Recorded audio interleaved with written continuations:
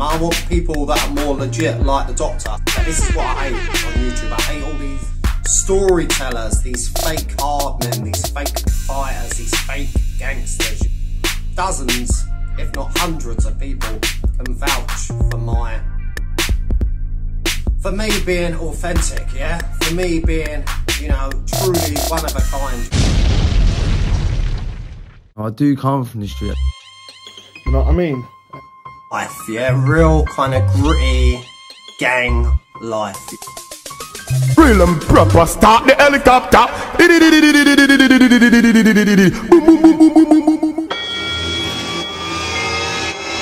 You think I give a fuck about gangsters seriously?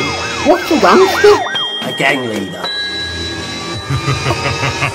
People that come on fucking YouTube talking about the life. Gangsters don't talk shit. They don't boast about the crimes like half of you YouTube plastic fucks. Steve Wraith, man.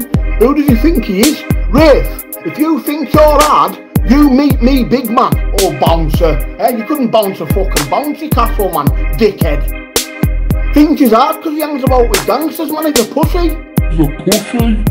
If any gangster's got a problem with me, fucking see me then. Fucking Attwood's got lots of fucking answer for. Telling you, because he is one snaky, sneaky bastard. I couldn't give a damn what Shaun says. He's the biggest snake on YouTube. I'm not mates with Attwood, mate. I'm not mates with Attwood at all. Attwood talk shit about me, man. Says to people, I don't get involved with Decca. It's a very dark and murky world. It's a dark and murky world, pal, because you're fucking behind them, that's why.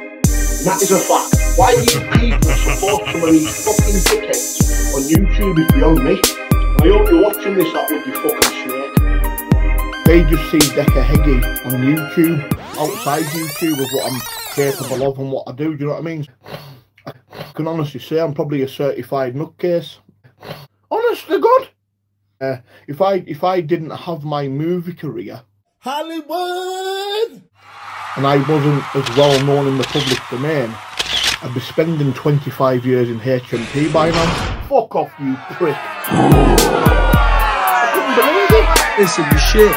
You're gonna get knocked out. I'm gonna completely iron you out, yeah? But you're gonna time you up, yeah? I'll kick you both in the bollocks and have to slap the pair of them. What about that? You do nothing.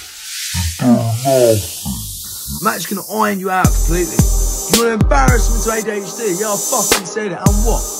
Because I don't care. Yeah? I really don't. I used to be a bit of um, a street thug, you know, um, a hoodlum, a gang leader, a fearsome enforcer, real urban life, yeah, real kind of gritty gang life. Done it all, worn the t-shirt, yeah. Do you know what I mean? It wouldn't be pretty.